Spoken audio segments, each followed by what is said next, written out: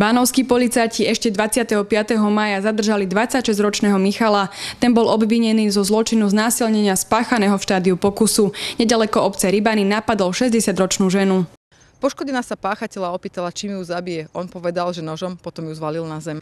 Žena sa po celý čas bránila, páchateľ sa ju pokúšal vyzliecť. Žene sa nakoniec podarilo ubraniť no zo strachu o svoj život, musela páchateľa uspokojiť iným spôsobom.